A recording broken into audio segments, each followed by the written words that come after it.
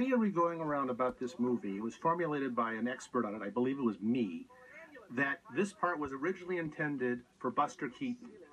The logic of this was if you were writing a movie and you wanted to have a gangster character played by Buster Keaton, wouldn't you call him Smiler Grogan?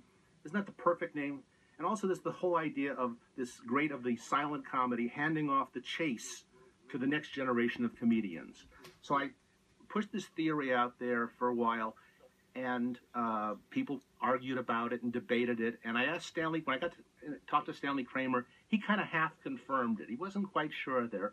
Well, Paul came up with uh, William Rose's original outline for this movie, and sure enough, right in there, it says in William Rose's own typeface that he wanted to have the part of the gangster played by Buster Keaton.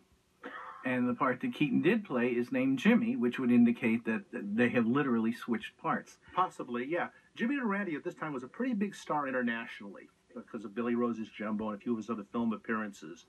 And uh, the theory would be that he was elevated to this role because they wanted to give him more billing, and Jimmy the Crook wasn't a big enough part to, to bill him for.